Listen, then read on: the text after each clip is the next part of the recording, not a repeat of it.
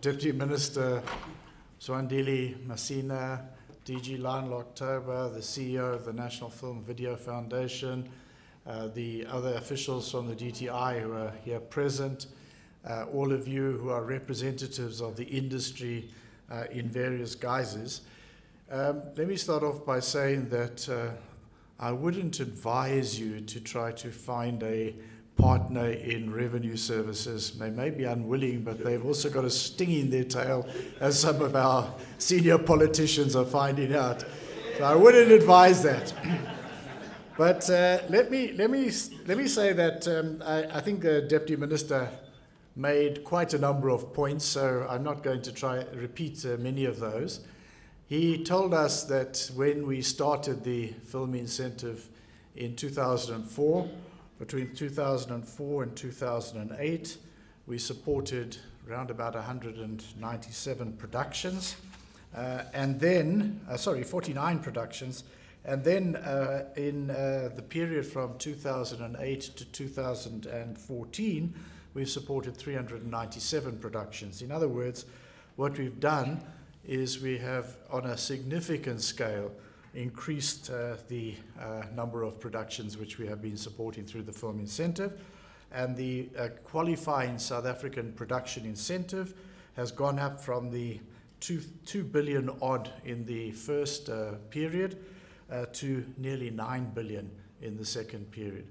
Now, you don't have to apply for QSAPE and uh, our production incentive to make a film in this country, as many of you in smaller end of the market know.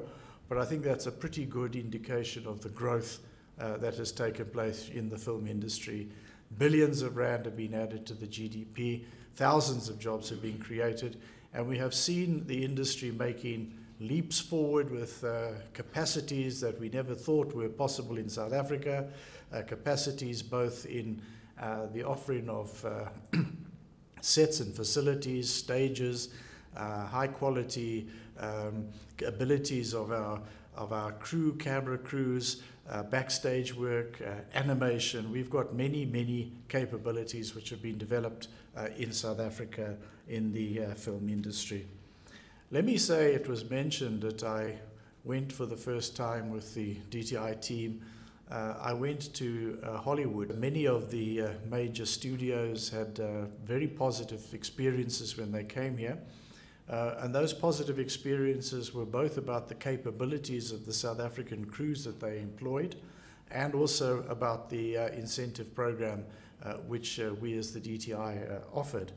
And they, um, as was mentioned earlier on, there is a film being shot here uh, practically uh, any day of the year.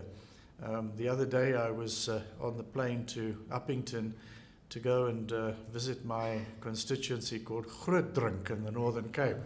Don't laugh, it's a serious town with a serious name. Uh, but uh, on the plane was, was one of our local company. I said, well, where are you going? it was Sean Penn was sitting out in the desert there in the Northern Cape somewhere making a film. So I think that is an example of, uh, of the, uh, uh, the, the, the, reception towards uh, South Africa uh, that, uh, that we have to offer. And in fact, the limitations are that we are now running out of stage space. those are the sort of limitations that we are facing. Let me say one of the things, because I think it is relevant to today's incentive. One of the things that I said to the studios in Hollywood was in addition to you coming to South Africa as a location, are there not other work, other pieces of work that you could uh, send to uh, South Africa and uh, um, um, you know, film makers, uh, even if the, the location isn't here in South Africa? And they said they would be happy to do so. Uh, and so, out of this, what we've decided to do is to put together a uh, trade mission, quote, beauty parade of our capacities and talents and take them out to Hollywood at some time uh, in the relatively near future. If we can showcase what we can do here in South Africa, I think that uh, we have some big opportunities uh, there in the United States. but, as was mentioned, and this is the basis of today's uh, event, there was a big lacuna. Although most of the productions that we had supported with our incentive program were in fact local productions, more productions, local productions than international productions, and more local productions than international productions and co-productions. Although that was the case, there was a particular segment of the market that we were excluding. Uh, the um, cap that was required, the minimum to qualify uh, of a production of 10 million rand was actually excluding the smaller end of the market. And that is a, a message that had been coming over uh, quite strongly over some period of time. In fact, one of the, the very first, in fact, it was the very first engagement, public engagement that I went to after being reappointed to this position after the elections this year, was a consultation uh, with the film industry. And uh, one of the messages that came out very strongly there was that uh, we, were, we were missing a trick by not supporting uh, small black filmmakers in this country. And um, I mentioned the figure about uh, Nollywood. And uh, well, this is the story that you probably know that uh, a few months ago the Nigerians recalculated their GDP and they declared themselves to be the largest economy on the African continent. And there were two things that they said they had undercalculated. One of them was the contribution of cellular technology, cell phones, and the second one was Nollywood, film industry. So those were the two elements that they recalculated and expanded uh, their estimation uh, of the GDP. We all know that Nollywood is, uh, is famous for local films of uh, varying qualities, many of which uh, appear on our, on our television screens. but the message that came out was that that uh, possibility, that opportunity was not available uh, here in South Africa. And so what we've done is we've, we've heard the call. And we've heard the call, and we've decided that what we need to do is we need to reduce the threshold for, co for companies to start to qualify uh, for our incentive program. And we've also upped the incentive that is offered uh, for the, uh, the small productions. So uh, now, if you are producing a film with a budget of 1 million rand, you can apply for our incentive. Half a million rand if it's a documentary. And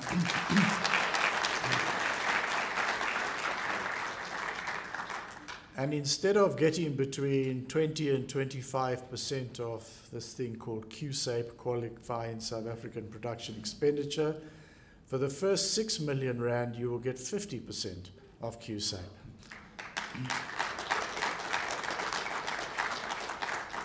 And thereafter, over 6 million, you'll get 25% of QSAPE. That's what you will get.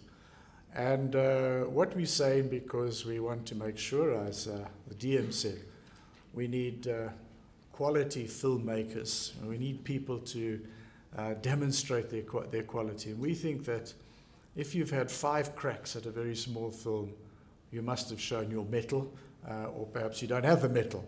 Uh, and so we say that uh, you'll have five shots at this, uh, after which we expect you to graduate into, into something else. Also, this incentive will be in force for initially three years. We'll have a look after three years until 2017. That's the incentive which we apply now. We're calling it Emerging Black Filmmakers Incentive. So uh, this is uh, a tool to support local black filmmakers. And uh, what we are saying is that you will have to reach BEE level 3 to apply. That's the, the incentive which we, we're offering uh, today. Now, we believe that um, this should create many opportunities for people who are going to be producing films for television. Uh, we are also, I think, very mindful of the fact that uh, television needs to have a very high level of local content uh, and that uh, this uh, should create opportunities for uh, local film productions.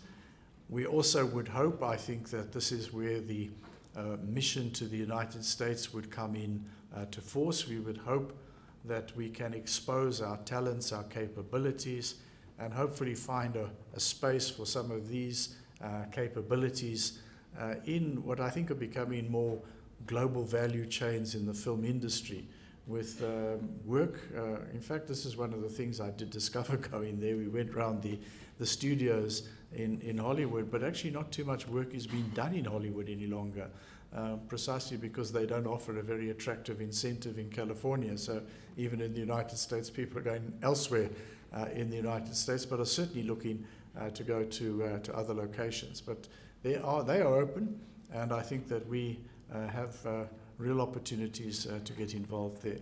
We've also seen um, some of our incentives being deployed. We've had uh, films from this source here before in South Africa, but our incentives have not supported them until recently.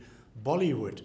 Uh, and that, I think, is also another uh, opportunity where uh, our, our companies, our small film producers, our, our small film makers uh, could find uh, synergies with other international sources. I'm also aware that a number of you uh, have found linkages directly with Nigeria and Nollywood. So um, let's see that we can have uh, something of a two-way trade uh, with uh, the largest economy on the African continent. And let's hope perhaps uh, that as you all make the progress, which we hope that you do make, perhaps we can sit around and recalculate our GDP and find that, find that we're back again as the largest economy in Africa. Thank you very much.